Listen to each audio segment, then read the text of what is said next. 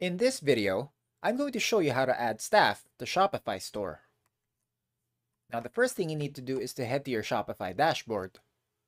At the bottom left of the screen, you should find settings. Click on it, then look for users and permissions. If we turn that up, this is what it'll look like. And as you can see, I currently have zero staff members out of two. Now the amount of staff members you can add depends on what plan you're currently subscribed to. So for example, there's a plan that can give you up to 5 members, there's one that can give you up to 15. To add the new one, just click on Add Staff.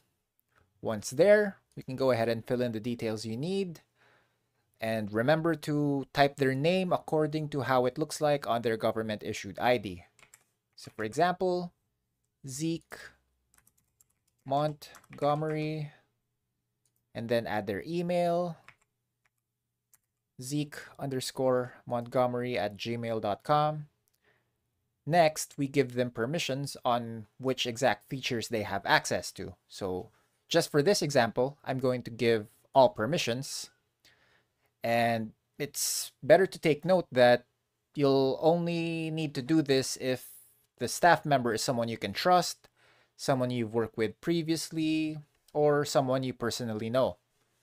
Now you'll do the same for app permissions. And here you can give them access to point of sale. And once you're good with that, you just go ahead and click on send invite. Once you've sent that, this will turn up on their email and all they have to do is accept the invitation and follow the instructions there so they can have their account set up.